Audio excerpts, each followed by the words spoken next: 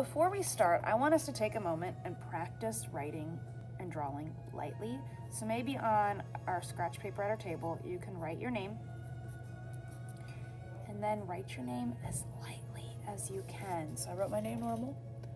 Now I'm gonna write my name really light. Can I write it even lighter? You betcha. I want to see how light you can write it. Maybe you can even draw a really light smiley face. You got to be able to see it. If you can't see it, it defeats the purpose. Um, because we're going to be drawing really lightly on our paper.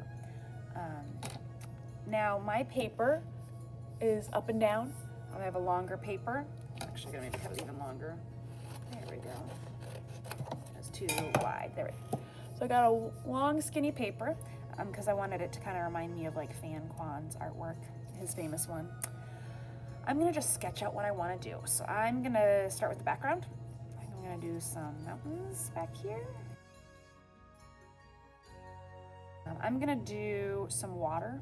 I'm gonna do a river that's kind of coming out. Maybe it's curving around a little bit. Things in the front foreground are bigger, right? Because they're closer to us. So this front of the river is bigger.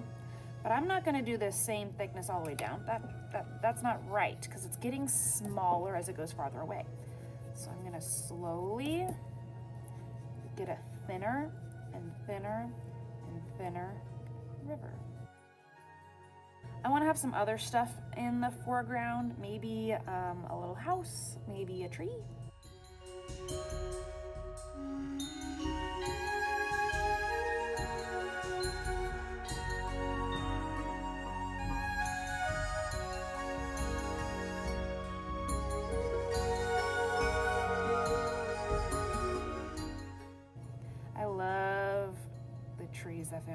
Because so I usually start with like a Y tree right? And then I start adding like Y's on it. But this time I do like wavy lines for the Y's. It's kind of a craggly old tree. So that's a wavy Y wavy Y. Maybe I'll do like another little tiny tree back here. I want to kind of show that it's getting farther away. We'll see if how that works out. Um, I'm gonna start with my black um, here with my watercolor if you have a color that looks like this, empty, um, let me know. I'll get you a new one, okay? I don't want you using colors that are not there anymore.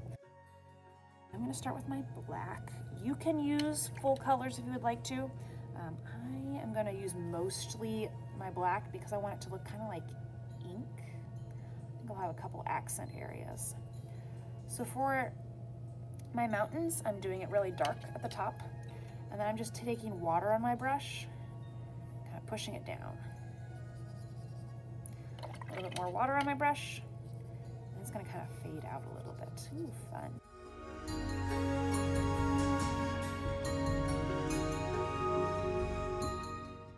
And then while it's still wet, I just cleaned off my brush, got just water,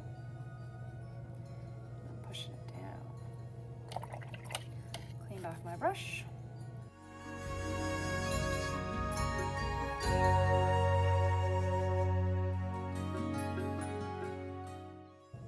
Be careful, if your water's wet, like if these are touching, this hill is gonna start to bleed into those mountains, and I don't want that.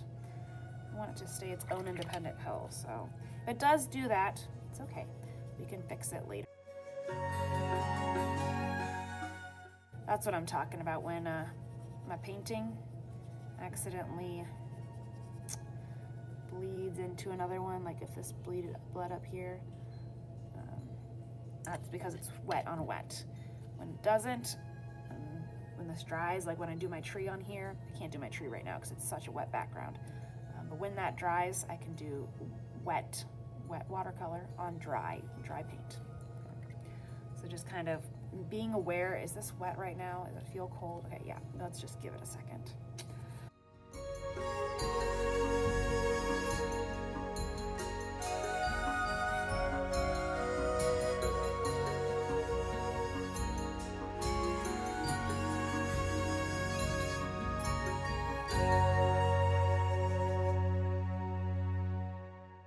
Like it's a bit more dry up here, so I'm gonna work on my tree.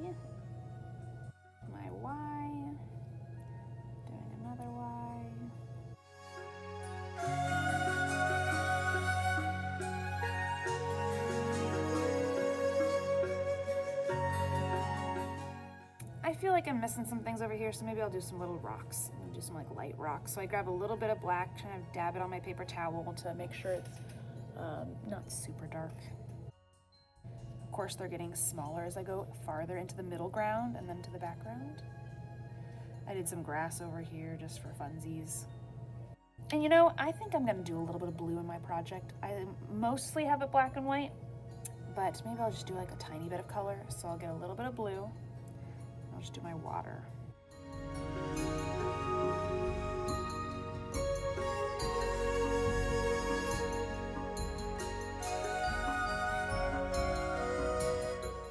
Yeah, that makes it a little less stark. Uh, maybe I'll do the same kind of thing with my sky. Um, I'm gonna make it really light. Sometimes what you can do, this is what I actually do use this over here if I wanna use a little bit black over there. And then add some water to it. Can make it a little bit lighter. Until you know you've got a lighter color. I can see that that is a light gray over there. And then I can take that and add it to my sky. I could even add a little bit of light blue to that over here. Stormy color. And then finally, I'm gonna write my initials kind of in a stacked format. I'm actually gonna do it in red. You could do it in black if you don't wanna have this red popping out. Um, make sure it's dry. I'm gonna write my initials. Get out of the way, watercolors.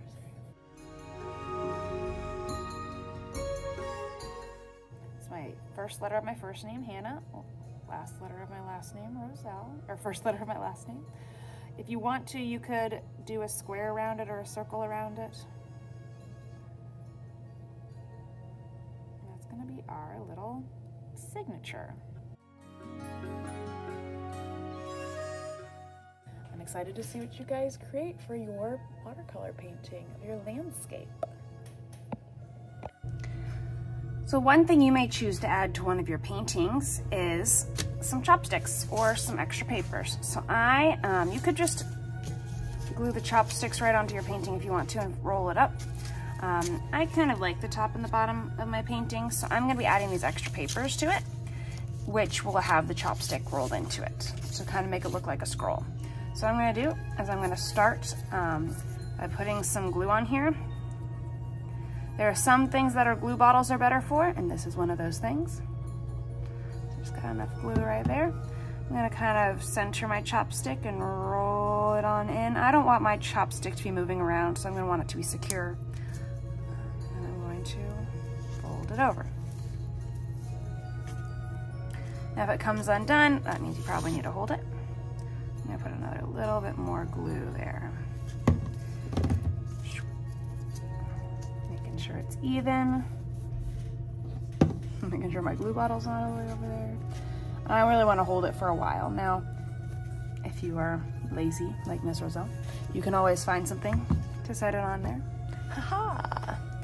While you work on your other one.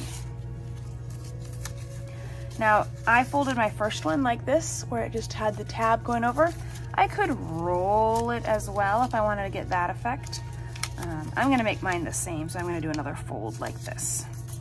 So even like fold, I could fold it ahead of time this time, maybe like do a little mark so I know where to put my glue down to. Oh, that is much farther than the other time. I'm not doing gobs and gobs of glue. If I want need to, I can always add more, but it's a thin layer. When I put my glue on, it's pretty thin.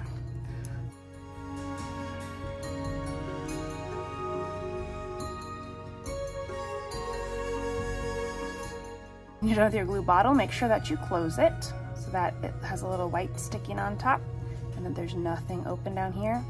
This means it's opened. This means it's closed. Thank you very much. And then set it upright so it doesn't get clogged. Nobody likes using clogged glue bottles. When these are dry, um, you can glue them on this direction or this direction. I'm gonna go this way. I'm gonna use a glue stick for this part just because it's cleaner. I don't wanna accidentally get glue on my painting.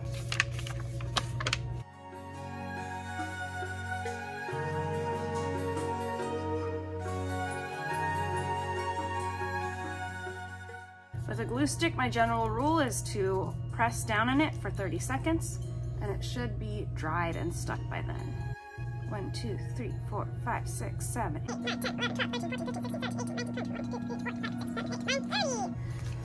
Good? Awesome. And I love how this looks. You can kind of see it side to side. I can roll it up for funsies. I don't know if I want my artwork all rolled up. Um, plus my glue bottle is still drying, so I'm gonna kind of let it chill for a little bit.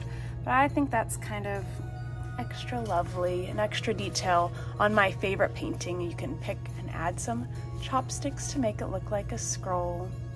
Your turn.